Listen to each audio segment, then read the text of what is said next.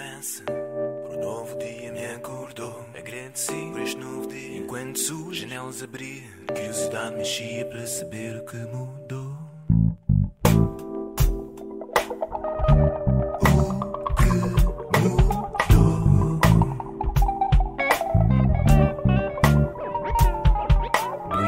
Da minha existência, olhei o mundo com paciência e com um olhar de criança. Que o novo mundo chegou e olhei o espaço. Aquilo que o dia já fora, exímio de flora, com que alguém desabençoou. E vi no espaço uma árvore lá fora que já fora verde outrora, mas que hoje secou, rodeada de lixo.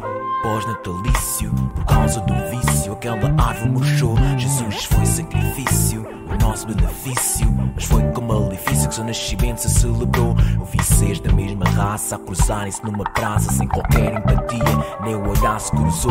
E nessa mesma praça, uma voz cheia de graça falava do que via, mas ninguém a ligou. Eu via toda a minha vida à beira da estrada a ser fodida por alguém que tinha sido e a contaminou.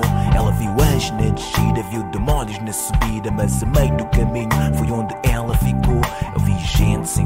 eu vi casa sem gente, eu vi gente sem gente, abandonado, abandonou. Eu vi gente com fome a comer do lixo tanta gente. O senhor agita matar gente para quem o lixo não chegou. O que mudou? Eu vi exploração da necessidade a perpetuar a desigualdade. Uma da vida na casualidade foi quem precisou. Eu vi o jogo da sociedade sem crédito ou regularidade. No lugar de honestidade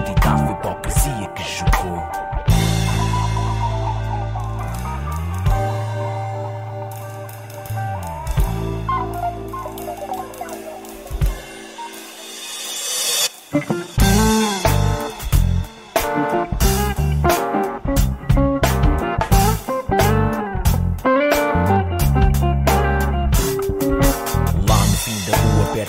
do horizonte, eu vi alguém a monte no fim do mundo chegou.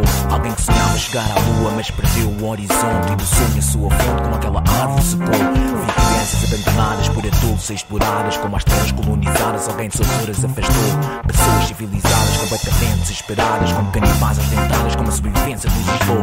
Mar. Com a esperança de vista à terra onde não houvesse guerra, mas o meu olhar não encontrou. Continuei a procurar. Com a esperança de vista à terra onde não houvesse guerra, que o barco se afundou. Quando as profundezas descia, nem acreditava no que via. Atlântida, a utopia, que aquela voz de graça falou. Quando as profundezas descia, percebi-me do que temia. Tinha chegado o meu dia, foi mais um dia que acabou.